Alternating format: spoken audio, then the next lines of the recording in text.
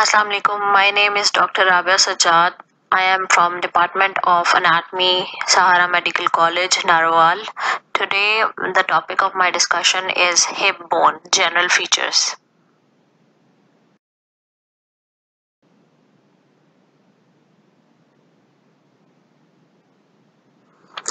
At the end of this lecture, you should be able to understand the formation of pelvic girdle. You should also be able to understand the main features and identify them of uh, mm, hip bones which are forming the pelvic girdle. We should also be able to uh, do the side determination and uh, the main anatomical position of the hip bone in pelvic girdle.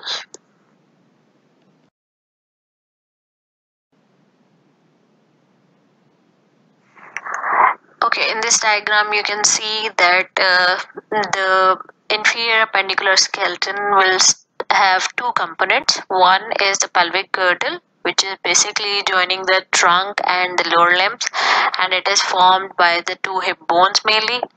And then we have the free lower limbs uh, below these which are also joined to the pelvic girdle.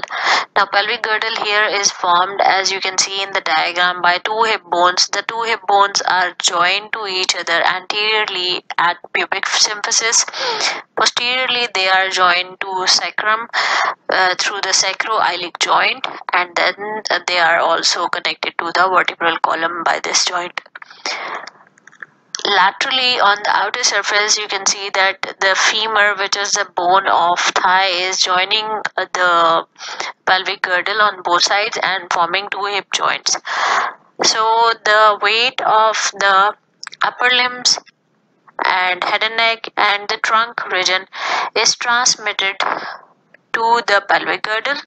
And here then the weight is divided into two halves uh, and distributed to each of the lower limb. Uh, the vertebral column is going to transfer the weight through the sacroiliac joint to the pelvic girdle and the pelvic bones or the hip bones are going to transmit this weight through the hip joint to femur and then onwards to tibia and then the bones of feet through which the weight will be transmitted towards the ground.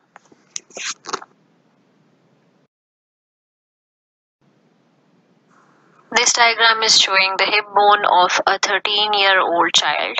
We can see the epiphyseal cartilage uh, which have not joined yet. So there is not complete synostosis or replacement of the joining uh, cartilages by lines. Here we can identify three main parts of hip bone. The superior fan-shaped part is called ilium and uh, the antero-inferior part which is shown here in purple is called pubis. The postero-inferior part is called ischium. The three parts joined uh, together at a cup-shaped structure called acetabulum. You can see the triradiate cartilage which is showing the joining parts of the three bones and the cartilage is present here at the uh, point of fusion.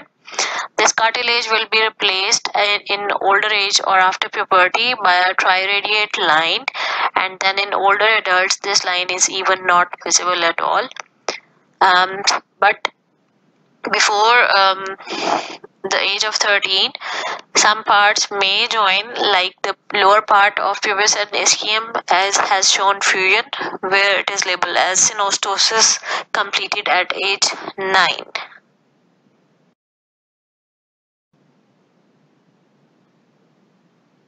here you can see uh, a cup shaped um, cavity or a structure called acetabulum which is present on the outer surface or lateral surface of hip bone.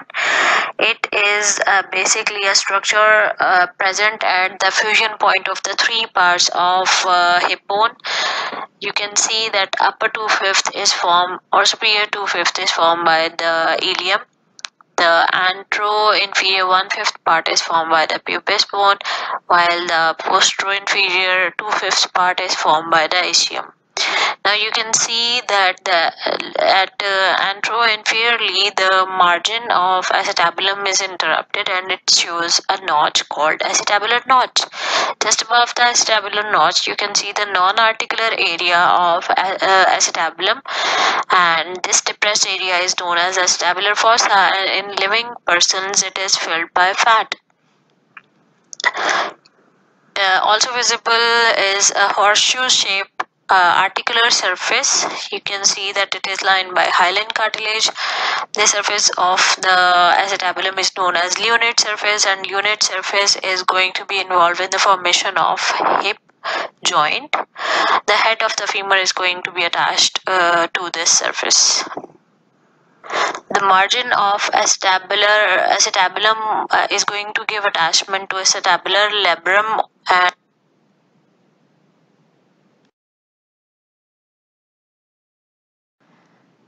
The first part we are going to discuss is ilium.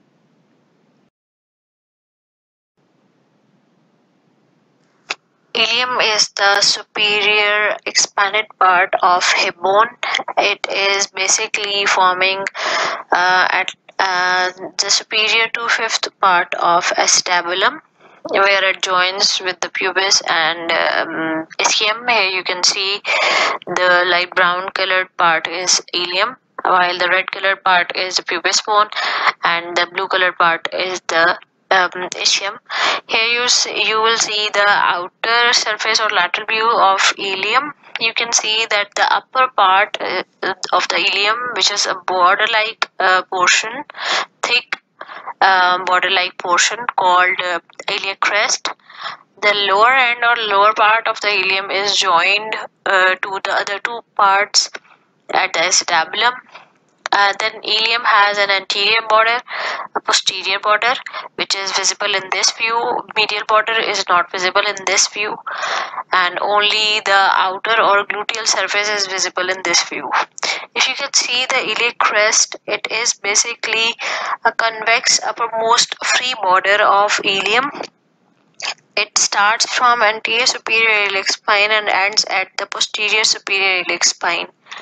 You can see that it is thick uh, structure and it has outer lip which is visible in this part, an intermediate area which is the rough part and an inner lip which is present on the uh, medial aspect which you'll see in the next diagram.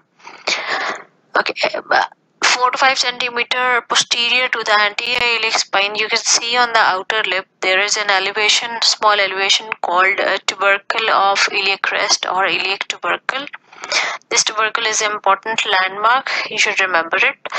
Um, then uh, you can see that the um, anterior iliac spine if traced downward it uh, ends at uh, anterior inferior iliac spine which is another elevation anteriorly and then uh, this continues up to the acetabulum the whole part is called the anterior border of ilium posterior superior iliac spine if traced downward. We see the posterior inferior iliac spine which is another elevation not very prominent and then below that we see that the posterior border of uh, ilium is going to form a notch like structure called greater sciatic notch.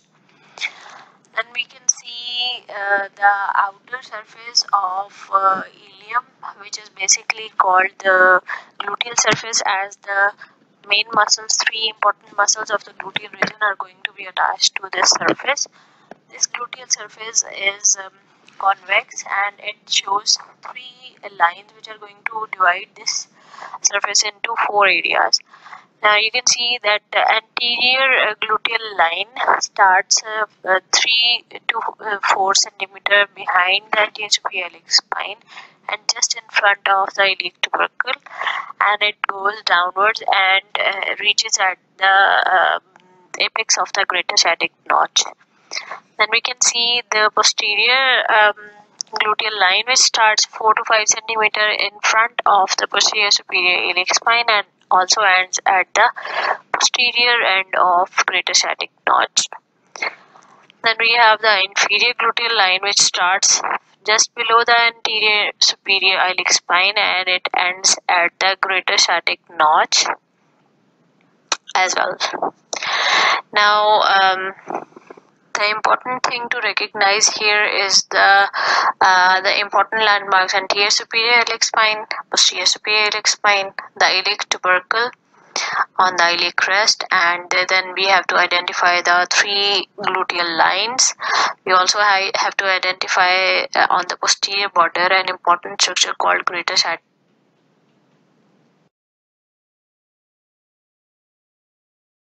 now you can identify the um, inner or medial surface of ilium you can see the inner lip of the iliac crest on this view now uh, one surface, the gluteal surface was discussed in the previous diagram. In this diagram on the medial view we can see two surfaces the smooth anterior iliac fossa, the concave uh, surface and the sacropelvic surface which is present posteriorly. These two surfaces are separated from each other by the medial border. The iliac fossa is uh, present anteriorly and is concave and it is going to form the false pelvis which is basically the lowermost part of the abdominal cavity. And then it is also going to give insertion to an important muscle which is discussed later. Be um, behind the medial border we can see the sacropelvic surface uh, the upper part of which shows an elevation a roughened area called iliac tuberosity which is going to give attachments to the ligaments of sacroiliac joint. Then we can see below the tuberosity and um, a smooth area ear shaped area which is the articular surface forming the sacroiliac joint and this is called the auricular surface because of uh, its ear shaped structure. Below the auricular surface uh, the smooth part of the sacropelvic surface is the pelvic part and it is also labeled here the body of ilium and above the fan shaped part of ilium is also known as ala of ilium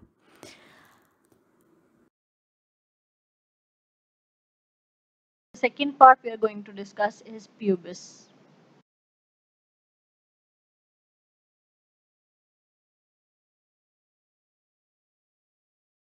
Anterior-inferior part of the hip bone is formed by pubis. Pubis uh, has three parts.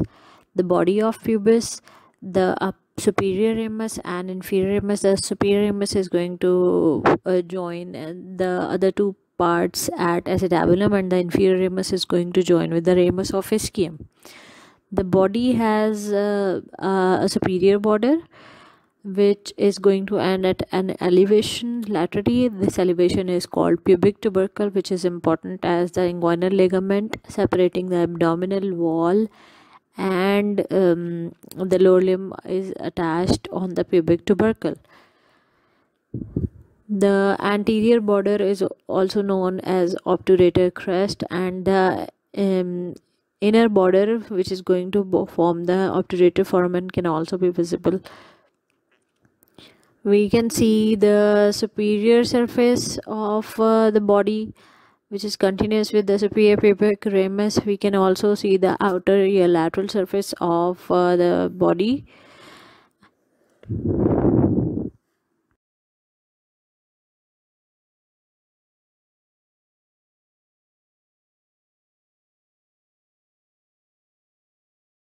On the outer surface we had seen the superior surface and lateral surface.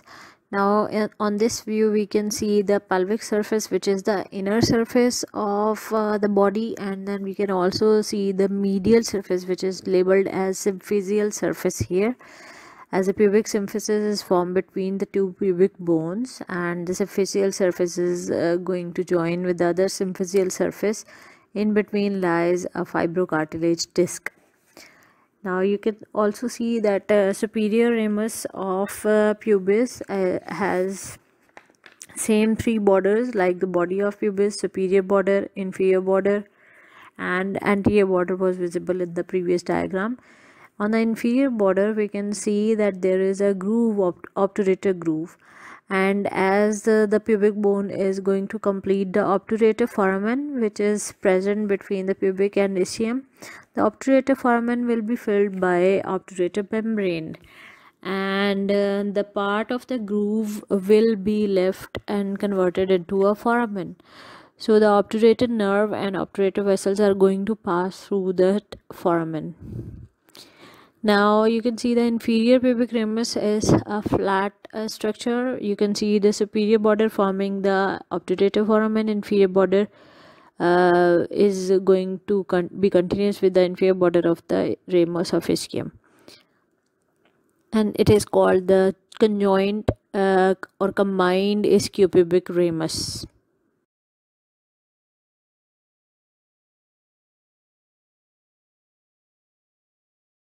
part of hip bone is ischium.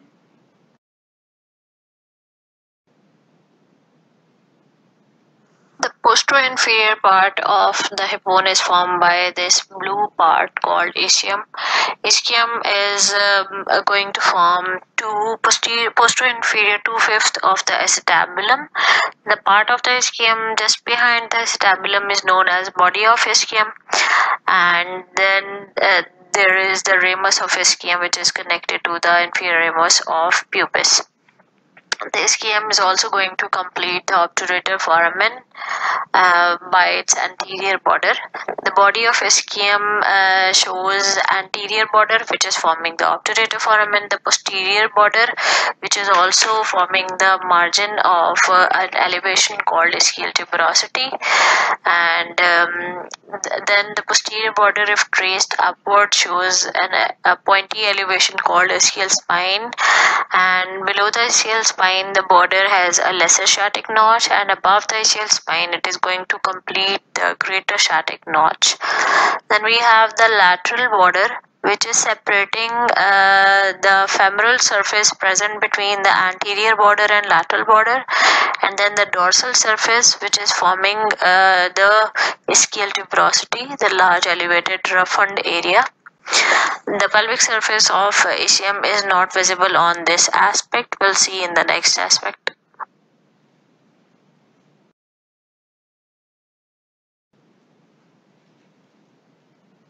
You can see the smooth pelvic surface of ischium between the anterior border and posterior border on this medial view. You can also see the ramus of ischium which is forming the combined ischiopubic ramus by joining the inferior pubic ramus and it has an upper border which is forming the obturator foramen, the lower border and outer surface uh, which was visible in the previous diagram and the inner surface which is the pelvic surface here uh, forming the true pelvis.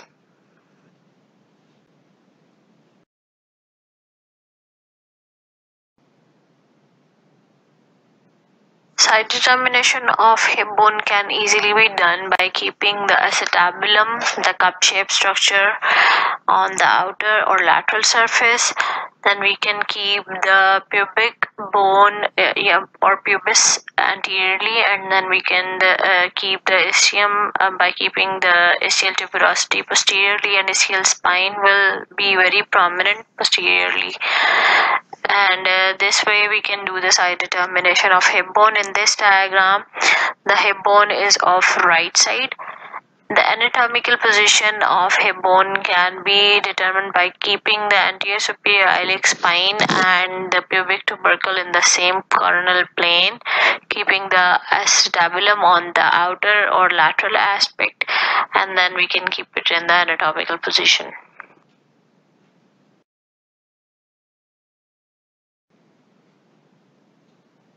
Now the general features, site determination and anatomical position of the hip bone have been discussed in this lecture and the attachments will be discussed in the next lecture along with the clinical features.